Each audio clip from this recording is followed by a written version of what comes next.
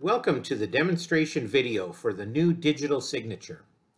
Office of the Advocate for Persons with Disabilities, OAPD, is offering Albertans with disabilities the opportunity to sign their OAPD consent forms digitally.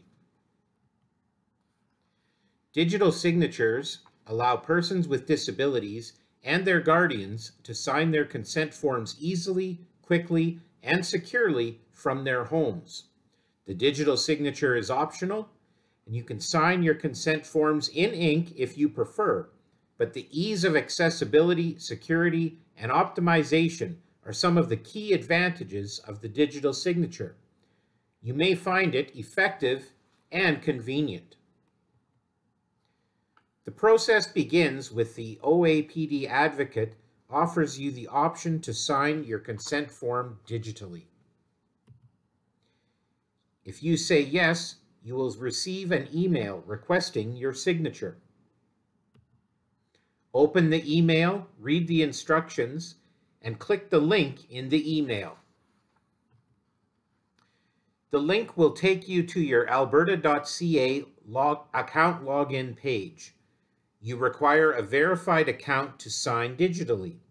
The verified account confirms your identity so that only you can see and sign the agreement or consent form. Enter your username and password for your verified alberta.ca account and click Sign In. Once you log into your alberta.ca account, you will be able to review and sign your consent form. If you are satisfied with the information on the consent form, scroll down to the bottom of the consent form and click the Approve and Sign button. You will then see a message that you have successfully completed your signature project. You can download a copy of your final consent form.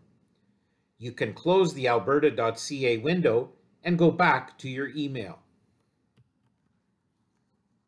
You will also receive an email that your final document is available. Click the message in your email and click the download button in your email.